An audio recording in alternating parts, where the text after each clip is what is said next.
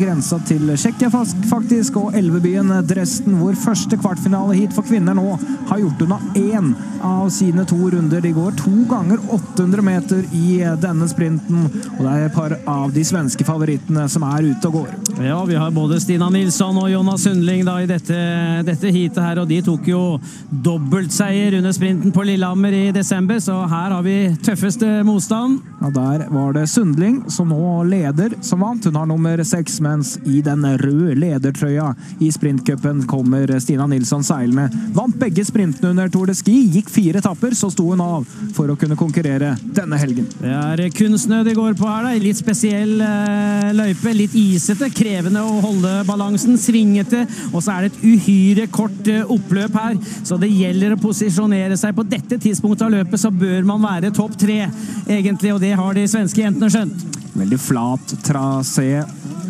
man har her i Dresden. Det var jo første gang i fjor det var verdenscup her, og de svenske jentene de posisjonerer seg akkurat der de skal når det er en halv runde igjen. Du får en liten luke òg. Det er Stina Nilsson som drar foran Jonas Sundling. Har kommet veldig sterkt utover denne sesongen, Stina Nilsson, da, i sprint, og er den store, store løperen blant damene i, i, verden for øyeblikket, og drar jo nesten ifra her, altså. Ja, går veldig tøft. Det kan bli en stor svensk dag. Hanna Falk vant jo også prologen, hvor Maiken Caspersen Falla var beste norske på tiendeplass. Vi vant for øvrig på 3.41,85, eller Hanna Falk vant på den eh, tiden. Men Nilsson er så sterk at hun går rett, fra, rett fra her i, i front.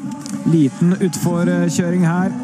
Så er det jevnt om den neste plassen. Det er Julia Kern og canadieren Betty som kjemper om tredjeplassen. Begge de svenske jentene kan bare skli rolig over mål i trygg forvissning om at de er videre til semi. Så var vel Betty kanskje noen centimeter foran Kern. De kan jo håpe at tiden er god nok. Det gikk i brukbar hastighet da i dette heatet.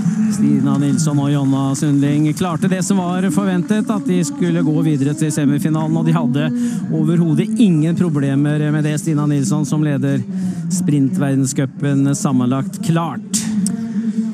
Mens vi ser priser fra starten her, så kan vi oppsummere den norske innsatsen i prologen. Maiken Caspersen falla nummer ti, som vi sa. Gledelig. Ane Appelquist Stenseth ble nummer 16 og tar sine første verdenscuppoeng noensinne. Mari Eide på en 17.-plass.